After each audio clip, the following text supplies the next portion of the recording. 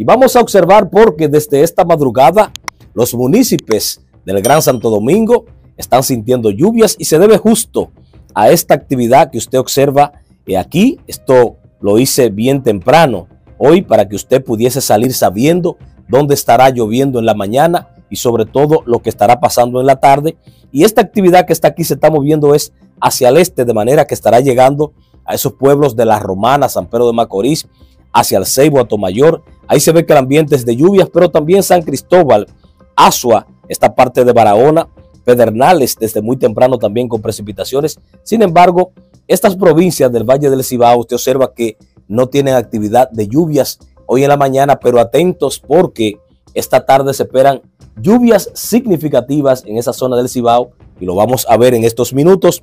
Y miren ustedes lo que estará pasando en la provincia de Altagracia, un ambiente también con cierta nubosidad y aunque no se ven grandes lluvias para la provincia de Altagracia en lo que resta de esta mañana, el ambiente se observa que en algunos sectores se estarán presentando aguaceros para la tarde de hoy. O sea que el ambiente sigue siendo de actividad lluviosa aquí en República Dominicana. Así que ese paraguas, como yo le decía en el día de ayer, no lo deje porque seguirá siendo un gran aliado en estos días de lluvias. Pero vamos a ver en el análisis de superficie qué es lo que está pasando, qué tenemos que perturba la atmósfera.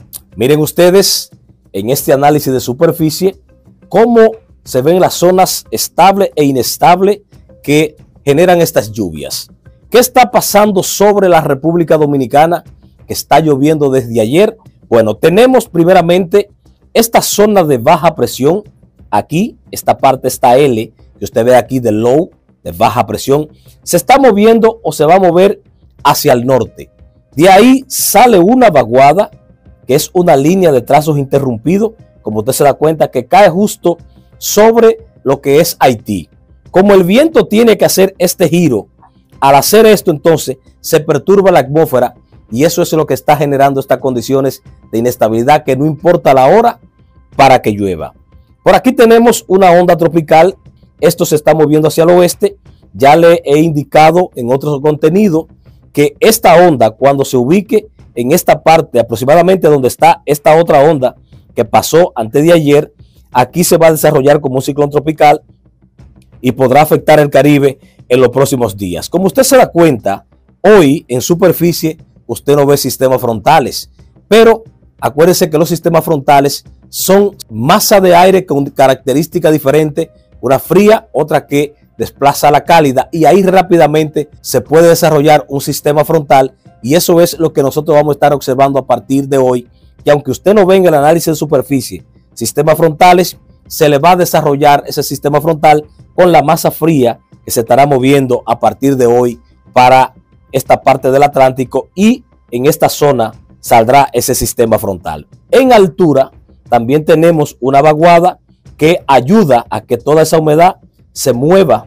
salga, entonces se generen esas grandes nubes, esos cumulonimbos. Pero añádale también a eso el viento del sureste.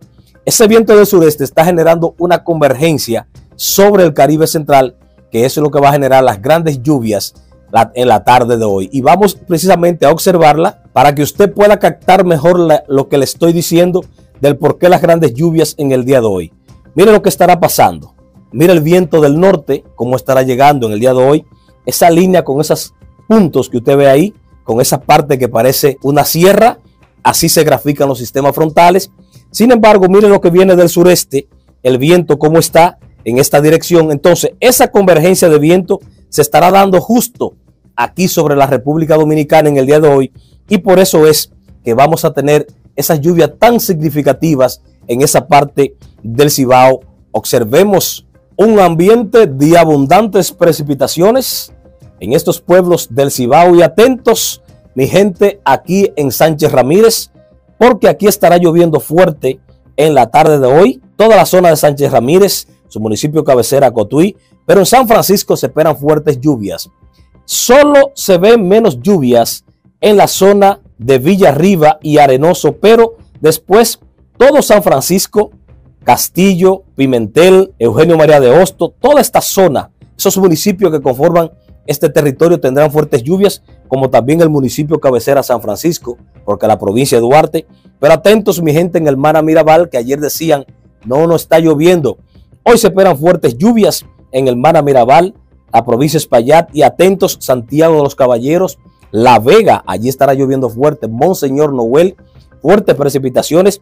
En esta zona no vamos a decir que se puedan generar tornados, pero las granizadas estarán presentes como también los fuertes vientos. Así que la gente que tiene agricultura, eh, sobre todo en esta parte que es muy avícola, agrícola, de diferentes rubros, a tener esto en cuenta que en el día de hoy la naturaleza le puede dar una sorpresa y afectarle esa producción agrícola que tengan algunos agricultores en esta parte de la Vega. Pero Santiago de los Caballeros estará sumamente comprometido con estas fuertes lluvias. En el día de hoy estará lloviendo en todo Santiago. Habrá inundaciones, señores, en esta zona Puerto Plata por igual. Estará recibiendo precipitación en todo San Felipe, Luperón, Sosúa, hacia la parte de Guananico. También se observa que estará recibiendo fuertes precipitaciones. La Isabela, pero atentos la gente de Santiago Rodríguez, Valverde, Montecristi, porque aquí en Montecristi estará lloviendo, no solamente en el municipio cabecera San Fernando, sino que en Villavásquez, Castañuelas, Guayubín, también hacia la costa, hacia el manantial, Jaiquilas, Agüita, toda esa zona costera de Montecristi estará recibiendo fuertes precipitaciones. En Valverde ya le digo que va a llover. En Boca de Mao, Laguna Salada, Cruce de Guayacane, la Loma de Guayacane, que allí tengo a alguien que siempre me envía información de que llovió en la Loma de Guayacanes. Entonces allí estará lloviendo también. Estará lloviendo en Dajabón. Atentos, Loma de Cabrera, Restauración, esos pueblos de Dajabón estará lloviendo también en la zona fronteriza en Elias Piña, Bani, Capero, Santana. O sea que usted se da cuenta que a nivel de la región Cibao, la cordillera central, hay abundante energía, inestabilidad y eso se va a transformar en lluvias, por lo que le acabé de explicar a ustedes de esa convergencia de viento. Pero estos pueblos bañados por el Caribe, que hoy le amanece lloviendo, la tendencia es que mejoren en hora de la tarde. No es que no se vayan a presentar uno contra chubascos, pero las grandes lluvias estarán en el norte de la República Dominicana, donde se esperan inundaciones, granizadas, fuertes vientos. Así que tome usted las medidas del lugar para que estas lluvias le afecten lo menor posible. Esta tarde yo vengo con el contenido de toda la tarde. Al mediodía le actualizaré como siempre. Síganme en las redes sociales, ex antiguo Twitter, en Facebook, en TikTok, en Instagram. Pero además, comparta estos contenidos que son de calidad. De esa manera usted también está ayudando a los demás. Recuérdese que junto a ustedes estamos cambiando la forma de cómo se debe recibir la información meteorológica. Bendiciones y feliz miércoles.